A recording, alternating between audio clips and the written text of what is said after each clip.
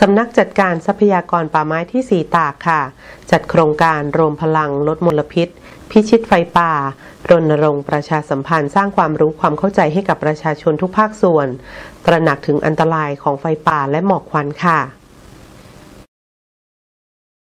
ที่บริเวณสนามหน้าสารกลางจังหวัดตาก พลตรีนรัตสิงห์ประภาพร ผู้บัญชาการมณฑลทหารบกที่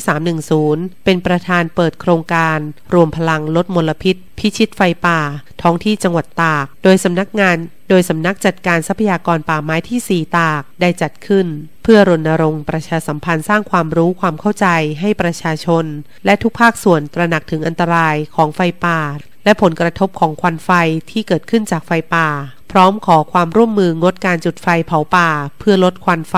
และเพื่อส่งเสริมการมีส่วนร่วมกับทุกภาคส่วน ในการป้องกันและควบคุมไฟป่า โดยมีหน่วยงานภาครัฐ องค์กรเอกชน องค์กรปกครองส่วนท้องถิ่น เครือข่ายความร่วมมือในการควบคุมไฟป่า เข้าร่วมกิจกรรมกว่า 300 คน โดยกิจกรรมประกอบด้วย การปล่อยขบวนแถวหน่วยงานดับไฟป่าการจัดแสดงนิทรรศการ และการสาธิตการใช้เครื่องมือดับไฟป่า นายสุพจน์ผู้รัตนโอภา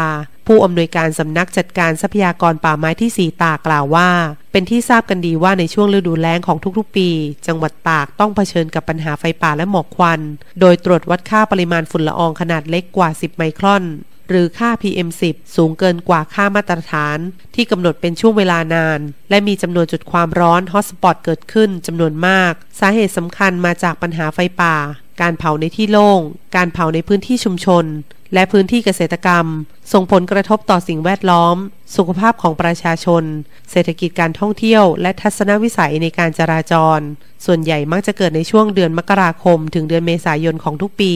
ดังนั้นเพื่อควบคุมป้องกันและแก้ไขปัญหามลพิษ จากหมอกควัน การควบคุมการเผาในทุกพื้นที่จำเป็นต้องเตรียมความพร้อมรับมือสถานการณ์หมอกควันที่จะเกิดขึ้น ในช่วงต้นปี